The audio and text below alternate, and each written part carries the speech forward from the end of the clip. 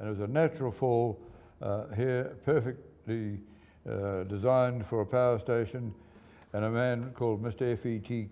Kissel was the man in charge at that point. point, and he and another man called Archie Blackmore uh, very quickly decided that, that if they were going to have 35 or 40 workers in the village up here, that they'd have to start planting trees because the, he discovered, of course, that the, the Taniwha and the Rakaia Gorge, which, which is a, a Maori name for everything that's nasty coming down the gorge, and uh, the, the, which is the winds and dust and shingle, and uh, coming down and hitting the houses and everything else. They had to get trees up fast. They, they actually ordered 28,000 trees, Pinus radiata, or Pinus insignis as they're called in those days.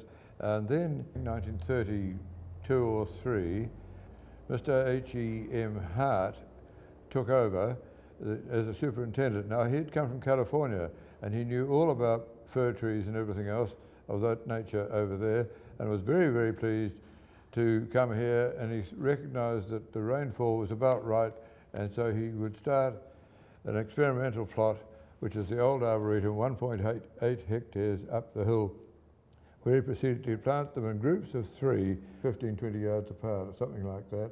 And then uh, those trees were, were measured every year by children in the village who get them to climb to the top of the tree once they got up and measure the height of the tree and give a, a notice of the girth and everything else. So every year, or every so many years, he would uh, analyze the trees and how they're growing. And, and to this day, we've got his notes, which are very, very good.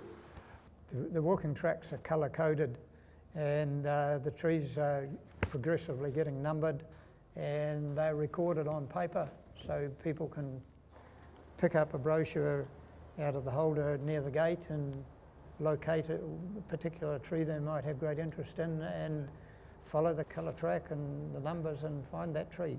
And Tony Barlow and Dean Norton, two people that own the Coleridge Lodge, have done a, a terrific amount of work in that line, and they've actually put put all these, these three different uh, tracks go through the trees, and you, it should be self-explanatory uh, to use it. In the past, it's been very hard to say. Looking up at a big, uh, over 100-foot tree, you, you try and look and see what, what the tree is from down below. You're trying to look at its cones and its needles, and it's all very hard, but be, it's a lot easier if you saw a notice at the bottom. People comment about the branches left on them, whether they're alive or dead, and uh, they're not pruned up like a nice, neat timber growing plantation. The specific purpose of the planting was to see what the different species grew like after a period of time when they mature, what shape or form have they got, and maybe there is some uh, potential commercial values there. But that doesn't mean pruning them up from the word go. They're there to grow and show us what they can do. And very largely that, that has been the case. A small number were mistakenly pruned at one time by uh, a group of students from the School of Forestry, I understand but uh, fortunately that only happened on one brief occasion and the bulk of them are there doing their own thing.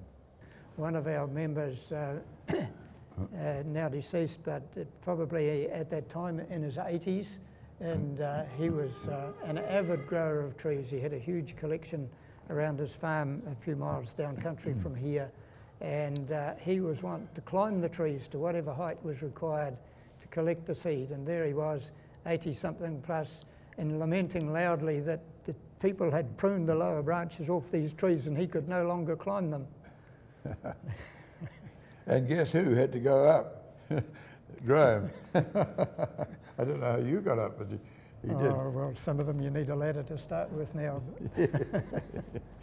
I've seen the, the original Arboretum go from a, a state of, I'd have to say, somewhat neglect into its present state where it's rapidly becoming better and better looked after, um, partly by local residents, which is very um, encouraging for us because those of us who have to come some distance, of course, it's, it's quite a, a, a big task to take on.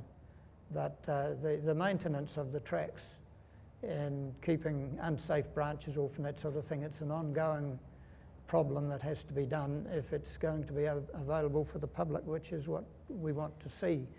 And uh, we also have quite a bit of assistance in that line now by uh, a company which trains arborists, is that correct? Yes. And they come with a group of uh, eager young guys once a year, These- hopefully, and they climb these trees with all the ropes and, and equipment and take down dangerous limbs, and, and that's really filling a, a much needed gap.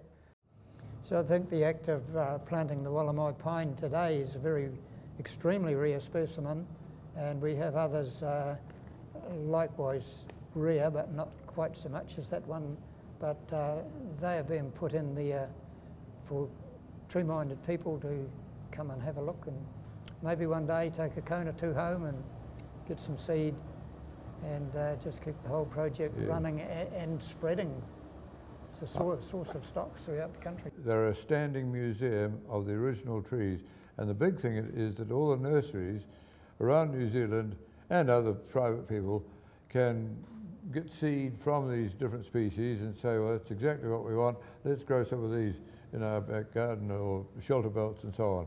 And they were originally planted for shelter and shade, and that's exactly what those trees are.